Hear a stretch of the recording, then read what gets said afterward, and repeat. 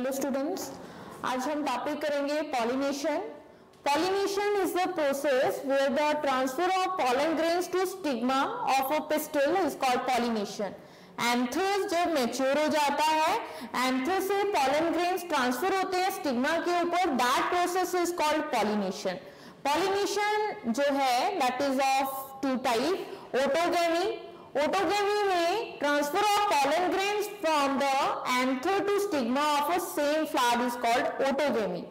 Autogamy के case में pollen grains transfer होते हैं एंथर से स्टिग्मा के ऊपर सेम फ्लावर में that is called the autogamy you can see here in this picture यहाँ पे एंथर्स जो है, वो मेच्योर होंगे और पॉलन ग्रेन्स उसी के स्टिग्मा पे जाके स्टिक करेंगे या शेड होंगे। That is called autogamy in these flower anthers and stigma like close to each other so that self pollination can occur इस केस में जो पॉलिनेशन हो रही है ओटोग्रामी में, यहाँ पे दोनों फ्लावर के parts means stamen and the दोनों क्लोज लाई करते हैं, जिसकी वजह से इजिली सेल्फ पॉलिनेशन हो जाएगी। तो यहाँ पे सेल्फ पॉलिनेशन हो रही है। अब बात करते हैं chasmogamous flowers and cleistogamous flower यहाँ पे चेजनोगेमस एंड फ्लावर्स की बात करेंगे which is the type of the autogamy some plants produce two types of flower कुछ प्लांट्स ऐसे होते हैं जिसमें टू टाइप के फ्लावर्स प्रोड्यूस होते हैं। इसमें एग्जांपल दिया है वॉयला जिसको कॉमन पैंसी बोलते हैं and oxalis and the commelina these are the examples of the flower जो प्रोड्यूस कर रहे हैं टू टाइप के फ्लावर्स को प्रोड्यूस कर रहे हैं। Chasmogamous and cleistogamous flowers with exposed anther and stigma are called chasmogamous flower यहाँ पे ये वोइला का कॉमिलिना का एग्ज़ाम्पल दिखाया है। यहाँ पे इसमें टू टाइप्स के फ्लावर्स बनते हैं। एक होंगे चेजमोगेमस और दूसरे होंगे क्लिस्टोगेमस जहाँ पे चेजमोगेमस फ्लावर वो है, जहाँ पे एंथर और स्टिग्मा जो है वो एक्सपोज रहेंगे। With expose anther and stigma that is the chasmogamous flower और क्लिस्टोग्लेमस फ्लावर्स जो होते हैं flowers which do not open जब तक वो पॉलिनेट ना हो जाए सेल्फ पॉलिनेशन या सेल्फ फर्टिलाइजेशन ना कर दे, तब तक वो ओपन ही नहीं होते हैं तो chasmogamous and cleistogamous are the two types of flowers present in the Viola oxalis and Commelina. अब यहाँ पे आप इस इमेज के थ्रू देख सकते हैं, ये फ्लावर दिखाया है, ये प्लांट बताया है, जैसे वॉयला बताया मैंने, जिसमें टू टाइप के फ्लावर हैं। कुछ ब्रांचेस पे चेजमोगेमस जिसके एंथर और स्टिग्मा एक्सपोज होंगे मीन्स फ्लावर ओपन होगा। और दूसरी तरफ़ क्लिस्टोग्लेमस फ्लावर्स बताए, यहाँ पे लीफ को लेबल करा है बट लीफ नहीं है। यहाँ पे क्लिस्टोग्लेमस फ्लावर्स वो होंगे, ये सॉरी लीफ नहीं है, ये बड कंडीशन में बताए गए हैं। ये बड है, ये बड तभी ओपन करेगा जब उसमें सेल्फ फर्टिलाइजेशन हो चुकी होगी। मींस क्लिस्टोगेमस फ्लावर के एंथर और स्टिग्मा एक्सपोज नहीं होते, वो सेल्फ फर्टिलाइजेशन के बाद ही फ्लावर ओपन होगा। तो इसमें टू टाइप्स के फ्लावर हैं chasmogamous and cleistogamous Now, the next is the gymnotogamy. When the transfer of pollen grains from the anther to stigma of different flower of the same plant is called gymnotogamy. यहाँ पे pollen grains जो है वो transfer हो रहे हैं anther से stigma के ऊपर बट डिफरेंट फ्लावर पे पीछे वाले डायग्राम में आपने देखा इमेज में देखा कि सेम फ्लावर के एंथर से पॉलन ग्रेन्स निकल रहे हैं और स्टिग्मा पे जा रहे हैं। वहीं पे इस केस में आप देख रहे हैं कि जिनेटनोगेमी के केस में सेम प्लांट के अलग अलग ब्रांचेस पे फ्लावर्स प्रेजेंट होंगे और इसके एंथर से पॉलन ग्रेन्स रिलीज़ हुए और किसी अनदर ब्रांच के फ्लावर पे जो है वो पॉलिनेट होंगे with the help of agency wind water या फिर यहाँ पे विंड या फिर अदर बायोटिक एजेंट्स जो है वो पॉलिनेट कर रहे हैं। अब जो सेम टाइप के प्लांट में इस तरह की पॉलिनेशन हो रही है जेनेटिकली वो सिमिलर होते हैं। उनमें वेरिएशन होगी बट काफ़ी ज़्यादा तक हद तक वो जो है वो पेरेंट की तरह रिजेंबल करेंगे। Because the pollen grains come from the same plant इसलिए क्रॉस पॉलिनेशन के केस में ज़्यादा वेरिएशंस देखी जाती हैं as compare to the autogamy अब बात करते हैं सेकेंड टाइप ओटोगेमी पढ़ा।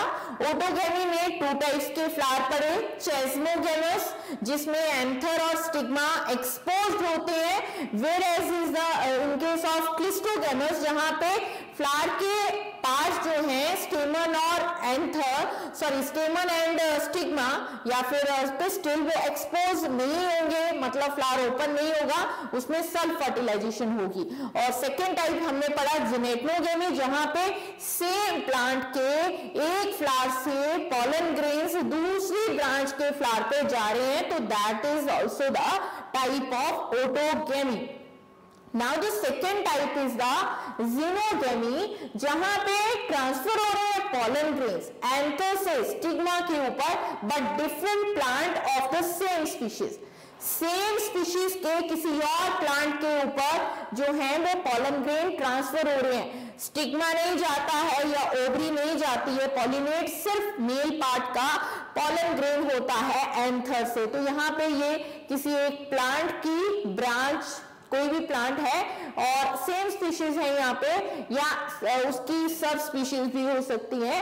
तो यहाँ से वो पॉलन ग्रेन रिलीज़ हुआ और किसी और प्लांट के स्टिग्मा पे जाके वो पॉलिनेट हो जाएगा with the help of agency तो that is the pollination pollination is of two type autogamy and geitonogamy autogamy self pollination and geitonogamy that is a cross pollination तो यहाँ पे पॉलिनेशन करने के लिए एजेंट्स की ज़रूरत पड़ती है तो डिफरेंट टाइप की एजेंसी जो है वो पॉलिनेशन में हेल्प करेगी।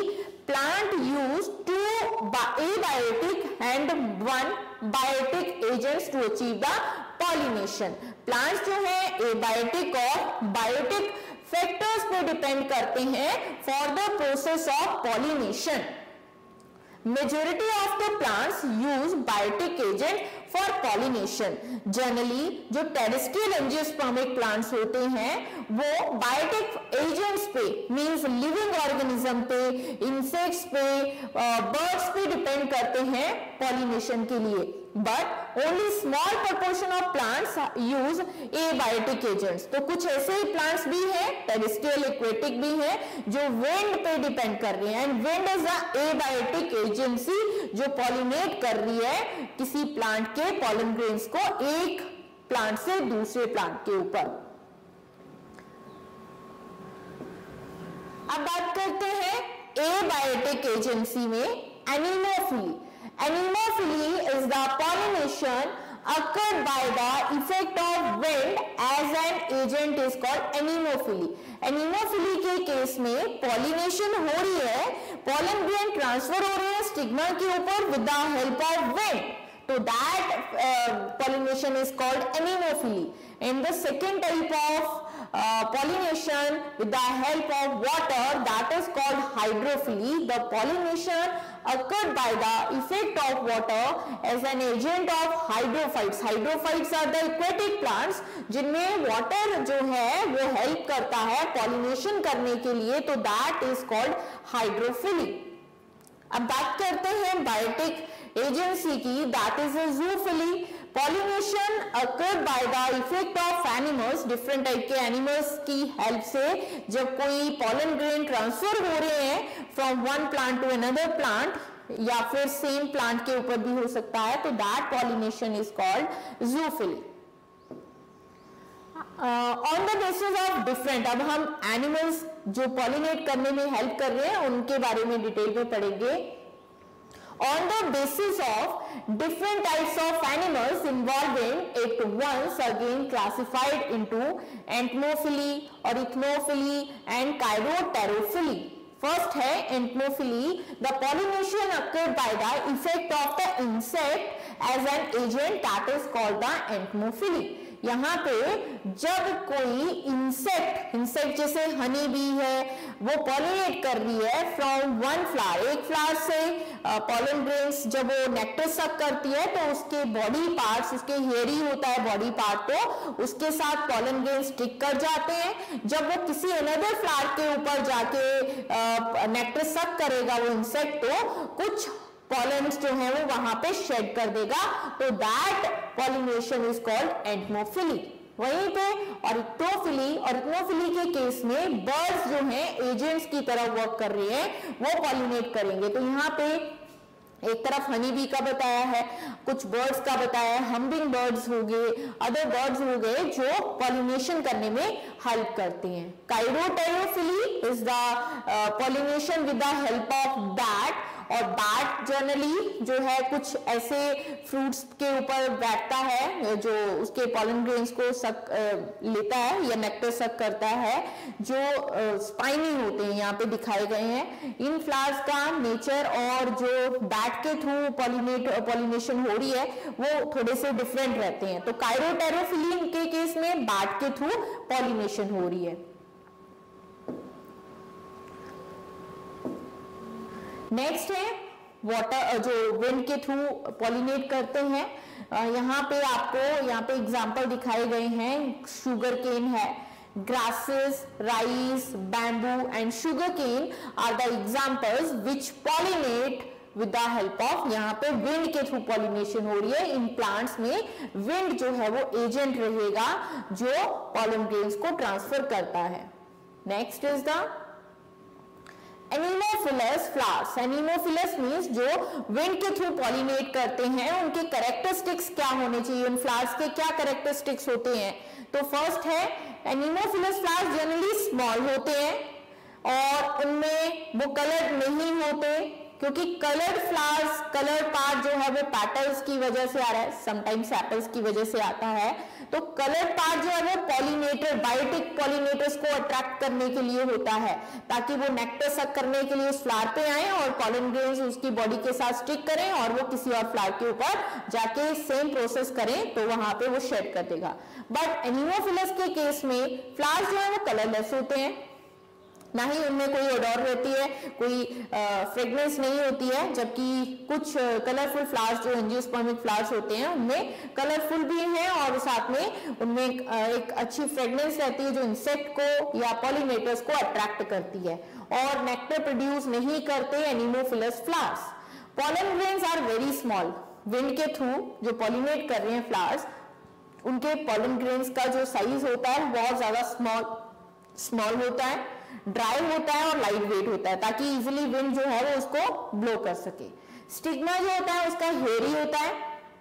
And branch to trap the pollen grain floating in the air जब एयर पॉलिनेट कर रही है सॉरी एयर की हेल्प से जब पॉलन ग्रेन जो है वो ब्लो कर रहे हैं तो उस फ्लॉट के साथ या उस ब्लो के साथ अगर स्टिग्मा हेरी नहीं होगा तो वो पॉलन ग्रेन्स को ट्रैप नहीं कर पाएगा। इसलिए पॉलन ग्रेन्स जो है, वो स्टिग्मा ट्रैप तभी कर पाता है जब उसका अपर पार्ट स्टिग्मा हेरी होगा तो वो इजिली एयर से ब्लो हो रहे पॉलन ग्रेन्स को इजिली ट्रैप कर सकता है। अब बात करते हैं वाटर के थ्रू जो पॉलिनेशन हो रही है that is called the hydrophily hydrophily is a pollination by water very few aquatic plants undergoes hydrophily बहुत कुछ इक्वेटिक प्लांट्स होते हैं जो हाइड्रोफिली शो करते हैं. When the pollination occurs below the water level अगर वाटर के बिलो हो रही है पॉलिनेशन उसको बोलते हैं हाइपो हाइड्रोगेमिक और इस इस टाइप की पॉलिनेशन जो होती है हाइपोहाइड्रोगेमिक पॉलिनेशन सिरेटो फाइलम और हाइड्रिला प्लांट्स में पाई जाती है, ठीक है? Next is the water when the pollination occur at the water level water के अब रहेगा तो that pollination is called epihydrogamic जिसमें एग्ज़ाम्पल आता है वेल्सिनेरिया जो पोलिनेट करता है at the water level next है in other aquatic plants like water hyacinth which is the eichhornia water lily flower emerges out of the water. कुछ aquatic plants जो हैं, वो वाटर से बाहर होते हैं और वाटर उसमें एजेंट नहीं बनता पॉलिनेशन करने के लिए, उसमें विंड के थ्रू पॉलिनेशन होती है। तो that type of pollination we can see in the case of water lily eichhornia flowers जहाँ पे इंसेक्ट और विंड के थ्रू पॉलिनेशन हो रही है। वाटर के थ्रू नहीं हो रही है बट वो हाइड्रोफिटिक प्लांट्स है।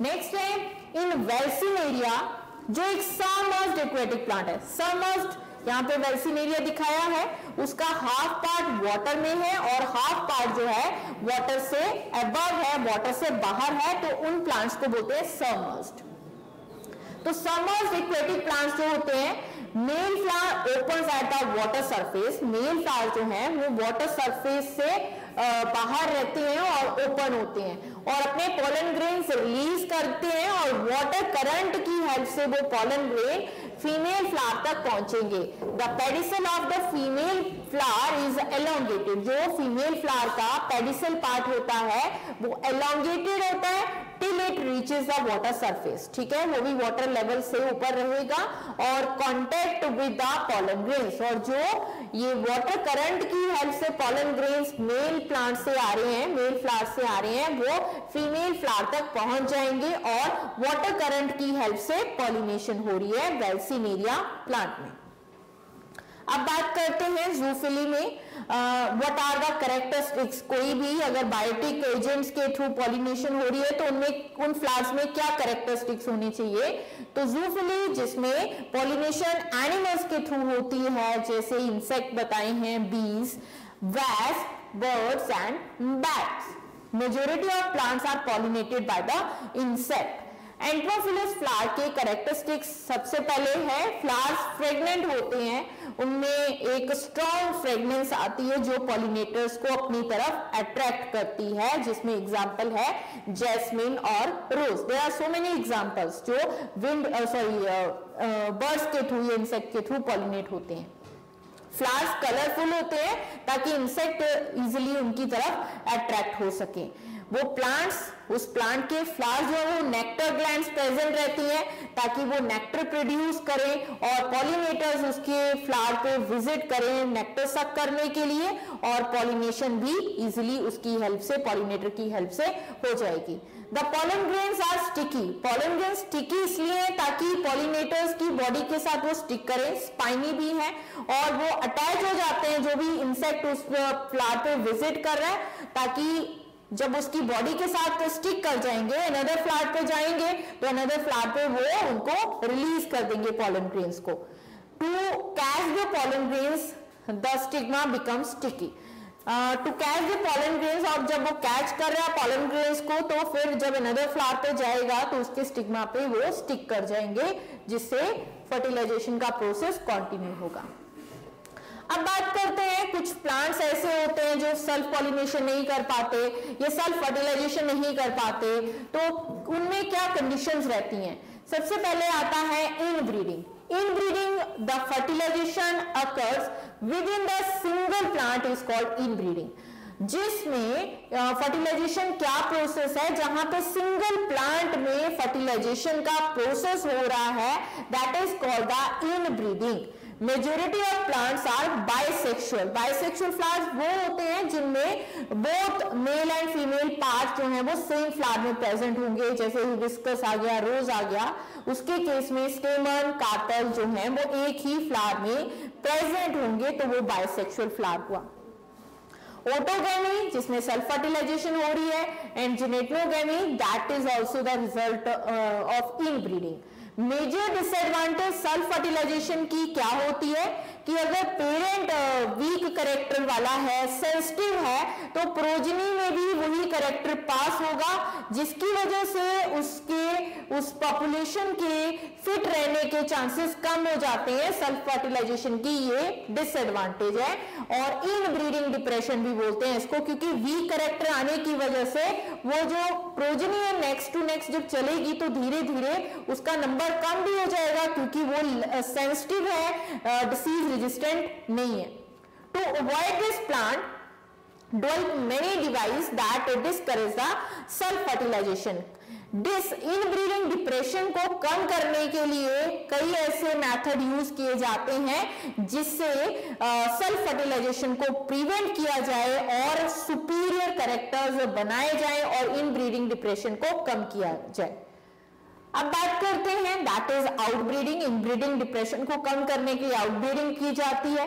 The fertilization occurs between two different flowers plants of the same species is called outbreeding outbreeding एक वो प्रोसेस है जहाँ पे फर्टिलाइजेशन हो रही है टू डिफरेंट प्लांट्स में बट सेम स्पीशीज के होने चाहिए दैट इज़ द आउटब्रीडिंग जिसमें xenogamy means cross pollination is the result of outbreeding plant achieved outbreeding by many mechanism अब यहाँ पे जो आउटब्रीडिंग करी जा रही है, वो डिफरेंट मेथड से की जाती है।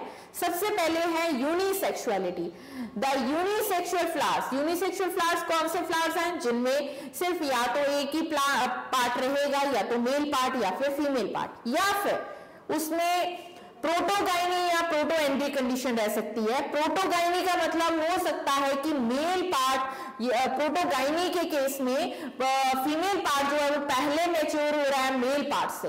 वहीं पे प्रोटो एंट्री के केस में मेल पार्ट पहले मेच्योर हो रहा है as compare to the female part तो जब मेच्योरिटी कोई एक पहले दिखा रहा है तो ऑब्वियस वो क्रॉस पॉलिनेशन शो करेगा।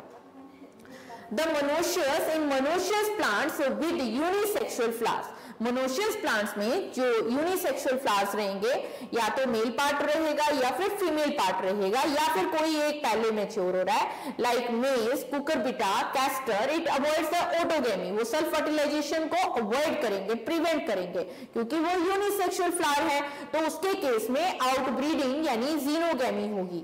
और डायोशियस प्लांट्स जिनमें जिसमें बताया है पपाया है मलवरी है it result in the xenogamy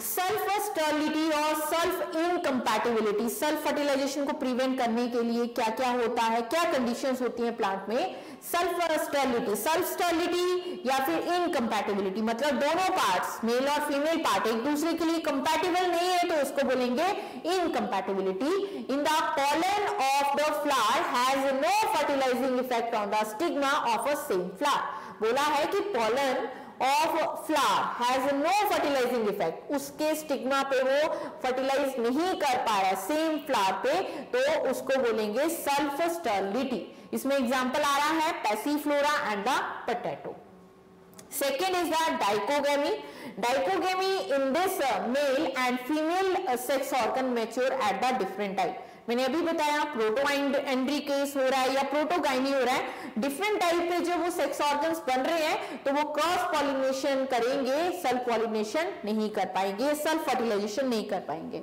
इसमें एग्ज़ाम्पल आता है China rose lady finger jasmine और कस्टर्ड एप्पल जो डाइकोगेमी जिनमें मेल पार्ट या फीमेल पार्ट जो है, वो डिफरेंट टाइप पे मेच्योर हो रही है। टाइमिंग दोनों की मैच नहीं कर रही है, जिसकी वजह से उसमें सेल्फ फर्टिलाइजेशन नहीं होगी।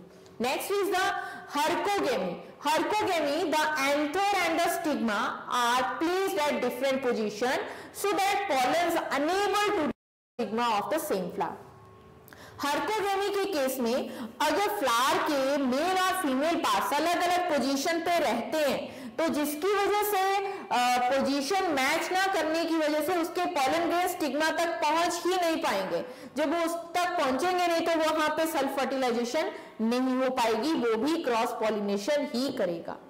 नेक्स्ट है आर्टिफिशियल अब हम आर्टिफिशियली भी फर्टिलाइजेशन सेल्फ पॉलिनेटेड प्लांट को क्रॉस पॉलिनेट करवा सकते हैं। जैसे हमने जेनेटिक्स में पढ़ा था मेंडल ने अपने एक्सपेरिमेंट में क्रॉस पॉलिनेशन भी करी है सेल्फ पॉलिनेशन भी करवाई है पी प्लांट में। तो आर्टिफिशियल हाइब्रिडाइजेशन एक ऐसा मेथड है जहाँ पे ह्यूमन की इन्वॉल्वमेंट होती है। Pollinating the pollen grains of one flower to the other flower of the different plants of the same species is called artificial hybridization. Pollen grain को एक प्लांट के फ्लावर से दूसरे प्लांट के सेम स्पीशीज का होना चाहिए।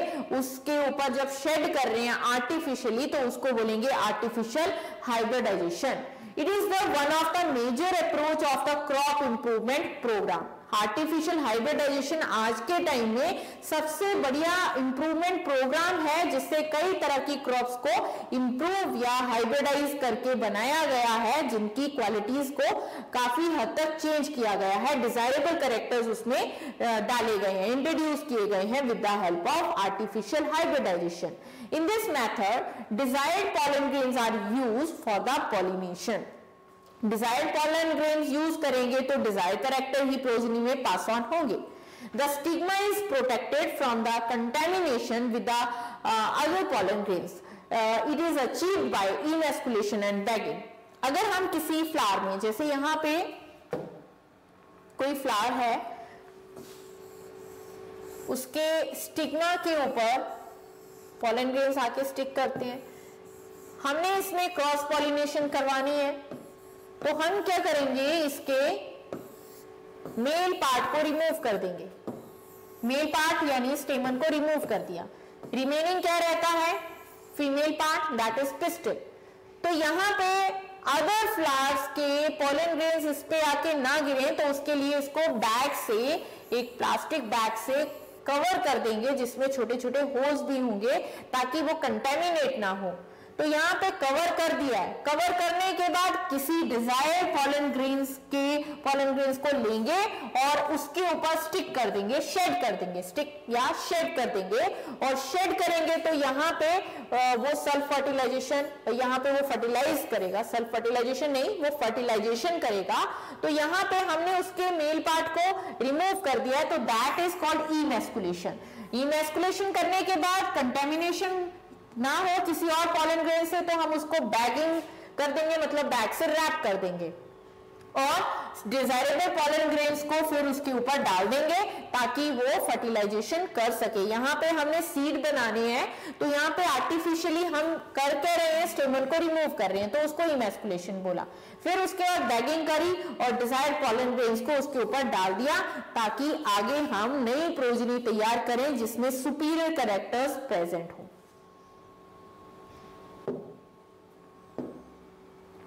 Emasculation is, it is the removal of anthers or the stamens from the flower bud before it mature. पर mature, maturity से पहले उसको emasculate करेंगे। आफ्टर द मेच्योरिटी नहीं करेंगे बिफोर करेंगे। यहाँ पे ये एक फ्लावर का बड पार्ट दिखाया है, जहाँ पे स्टेमन को रिमूव कर दिया है मेच्योर होने से पहले। उसके बाद बैगिंग करिए। यहाँ पे आप इस इमेज में देख सकते हो, इसको फिर कवर करा है इमेस्कुलेटेड फ्लावर को। Covering of the emasculated plant with butter paper to prevent the contamination with other pollens. आगे नेक्स्ट प्रोसेस है फर्टिलाइजेशन फर्टिलाइजेशन आर्टिफिशियल के केस में या फिर नॉर्मल नेचुरल फर्टिलाइजेशन के प्रोसेस में, मैंने बताया था कि एंजियोस्पर्म के केस में डबल फर्टिलाइजेशन होती है। डबल फर्टिलाइजेशन में एक वेजिटेटिव फर्टिलाइजेशन होगी और दूसरी जनरेटिव फर्टिलाइजेशन होती है। तो fertilization in angiosperm is term as double fertilization and triple fusion as the pollen grain mature जैसे ही पॉलन ग्रेन मैच्योर होता है that contains two cells one is vegetative cell and two generative cell that develop into male gamete जो generative cell है, वो develop करेगा to male gametes में in some plants pollen grain shed as two cell condition कुछ case में cell pollen grain जो है वो टू सेल स्टेज में शेड करता है जनरेटिव सेल जो डिवाइड करेगा बाद में two cell two male gamete बना देगा और that male gamete as pollen tube formation में हेल्प करेगा। तो यहाँ पे आप देख रहे हैं कि एक मेच्योर पॉलन ग्रेन दिखाया है और ये उसकी पॉलन ग्रेन की जर्मिनेशन दिखाई है पॉलन ट्यूब क्योंकि पॉलन ट्यूब ही ओवरी तक ओव्यूल तक उस मेल गेमिट को पहुंचाएगा तो पॉलन ट्यूब की जर्मिनेशन हो रही है। As the pollen grain land on the stigma pollinators ने अपना काम कर दिया। जब वो स्टिग्मा के ऊपर पॉलन ग्रेन पहुँचता है तो वो फिर धीरे धीरे जर्मिनेशन करने स्टार्ट कर देगा। सिंगल पॉलन ग्रेन नहीं पहुँचता, बहुत सारे पॉलन ग्रेन जो है वो स्टिग्मा पे शेड करते हैं। जिसमें से कोई एक ही पॉलन ग्रेन सही तरह से पॉलन ट्यूब बनाएगा और वो ओव्यू तक पहुँचा पाएगा पेल मेल गमीट को। Pollen tube develop comes out of the germ pore मैंने बताया था कि पॉलन ग्रेन का स्ट्रक्चर देखें तो सिर्फ़ और सिर्फ़ एग्जाइन का एग्जाइन एक रेजिस्टेंट लेयर है जो स्पोरोपोलिनिन से बना है। तो सिर्फ़ वो एरिया जो एग्जाइन जहाँ पे स्पोरोपोलिनिन एब्सेंट है, उस पोर को बोलते हैं जर्म पोर वहीं से पॉलन ट्यूब की फॉर्मेशन हो रही है। It grows through the tissues of the stigma वो धीरे धीरे टिश्यूज स्टिग्मा के टिश्यूज में स्टाइल में अपने लिए स्पेस बना रहा है पॉलन ट्यूब और पेनिट्रेट करके और तक पहुंचेगा। अब यहाँ पे दिखाया गया है कि जो पॉलन ट्यूब है, वो ऑब्यूल में पहुँच रहा है डिफरेंट टाइप से उसकी एंट्री होती है पॉलन ट्यूब की ऑब्यूल के अंदर। Entry of pollen tube into ovule is from different place first is porogamy chalazogamy and mesogamy M E S O that is mesogamy porogamy में पोलन ट्यूब एंटर करता है through the micropylar and ये चिलेजुल and है, ये micropylar and है। तो जब pollen tube male gamete लेके आ रहा है और उसकी एंट्री माइक्रोपाइलर एंड से हो रही है तो that is called porogamy second is the जैसे ही अगर ऑपोजिट साइड से चिलेजोलैंड से एंट्री हो रही है तो उस टाइम बोलेंगे chalazogamy that is entry of pollen tube through the chalaza या chalazal end that is chalazogamy mesogamy के केस में, जब इन टेगुमेंट्स के थ्रू मिडिल पार्ट से अगर पॉलन ट्यूब ओव्यूल के अंदर एंटर कर रही है इंटेगुमेंट या फ्यूनिकल से तो उसको बोलते हैं मीजोगेमी तो यहाँ पे दिखाया है pollen tube enters the ovule, the tip ruptures जो टिप होती है पोलन ट्यूब की वो रप्चर हो जाती है ब्रेक हो जाती है और एम्ब्रियो सैक के अंदर टू मेल गैमीट्स को रिलीज़ कर देगी। अब हमने एक ओव्यूल का स्ट्रक्चर समझा था। उसके चिलेजल एंड पे एंटीपोडल सेल्स हैं माइक्रोपाइलर पे दो सिनर्जिट्स और सेंटर में एग प्रेजेंट है और इस पूरे स्ट्रक्चर को सिनर्जिट्स प्लस एग और filiform apparatus that is called egg apparatus generative cell और ट्यूब न्यूक्लियस पेनिट्रेट कर गया, कर गया एम्ब्रियो सेक के अंदर। अब यहाँ पे फ्यूजन होगी। टू जो सेंटर में सेंटर सेल में पड़े हैं दो nuclei that is polar nuclei जो स्कैंडी न्यूक्लियस बनाएँगे जो डिप्लॉयड बन जाएगा। क्योंकि दोनों polar nuclei n n number के थे। जब दोनों फ्यूज कर गए तो वो स्कैंडी डिप्लॉयड न्यूक्लियस बन जाएगा। अब बच गया दूसरा वाला जो मेल गैमीट्स आए हैं यहाँ पे एक मेल गैमीट जो है वो पोलर न्यूक्लियाई के साथ फ्यूज कर रहा है। यहाँ पे दो पोलर न्यूक्लियाई थे। पहले वो दोनों पोलर न्यूक्लियाई आपस में फ्यूज कर गए तो बना दिया स्कैंड्री न्यूक्लियस टू जब एक मेल गैमीट दो मेल गैमीट आ रहे हैं वेजिटेटिव सेल का कोई फ़ंक्शन नहीं है, उसका काम पोलन ट्यूब की जर्मिनेशन करवाना था, हो गया, वो डिस्ट्रॉय हो जाएगी डीजनरेट हो जाएगी। अब जो दो मेल गैमीट है तो उनमें से एक मेल गैमीट जो हेप्लॉयड नंबर का होगा, वो स्कैंडी न्यूक्लियस के साथ फ्यूज करेगा। तो टू एन तो ऑलरेडी था, जब उसमें एक मेल गैमीट का एन ऐड हो गया तो वो थ्री एन बन गया। दैट इज़ द ट्रिप्लॉइड और एन प्राइमरी एंडोस्पर्म न्यूक्लियस बन गया। अब जो सेकंड वाला रहता है male gamete that is n वो एग के साथ फ्यूज करेगा। तो एन एन जो है वो एग का आ गया और एन जो है वो मेल गैमीट का न्यूक्लियस आ गया। तो दोनों एंजिन फ्यूज करेंगे तो वो टू बन जाएगा, जिसको बोलेंगे जाइगॉट या फर्टिलाइज्ड एग तो यहाँ पे एम्ब्रियो सेट के अंदर ये इवेंट हो रहा है।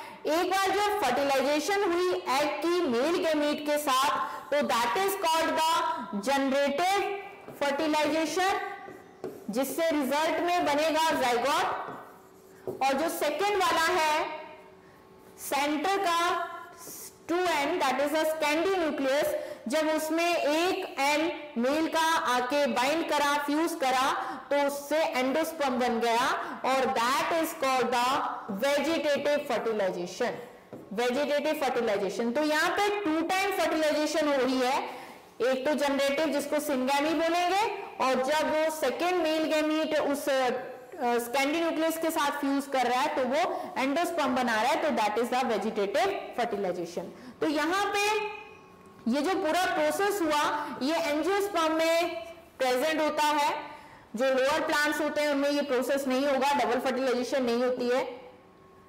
अब बात करते हैं डबल फर्टिलाइजेशन के बाद जो नॉन असेंशियल पार्ट है, वो शेड कर जाते हैं. Means event post fertilisation event. In the uh, it is the event that takes place after the fertilization it includes endosperm development embryo development maturation of ovule into seed and maturation of ovary into fruit means क्या fate है अब embryo set के अंदर या ovary के जो parts है वो किस चीज़ में चेंज होंगे जो स्कैंडी न्यूक्लियस के साथ एन यानी male gamete male nucleus fuse करा था उससे एंडोस्पर्म बना वो एंडोस्पर्म की फॉर्मेशन होगी।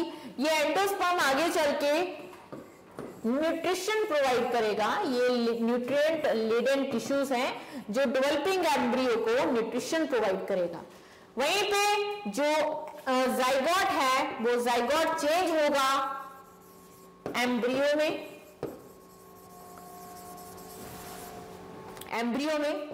और इस एम्ब्रियो की डेवलपमेंट में ये एंडोस्पर्म न्यूट्रिशन देगा। वहीं पे मैचुरेशन ऑफ़ ओव्यूल ये एम्ब्रियो की फॉर्मेशन कहाँ पे हो रही है? एम्ब्रियो सैक मतलब वो कहाँ पे है? ओव्यूल में। तो ओव्यूल किसमें चेंज हो जाएगा? सीड में। और जो सी ओव्यूल के बाहर का जो पार्ट था दैट इज़ ओवरी ओवरी को हम कंज्यूम करते हैं फ्रूट की फॉर्म में तो ओवरी चेंज हो जाएगी मेच्योर होके फ्रूट में, जिसको हम कंज्यूम करते हैं। तो ये पोस्ट फर्टिलाइजेशन इवेंट्स हैं। Okay, thank you.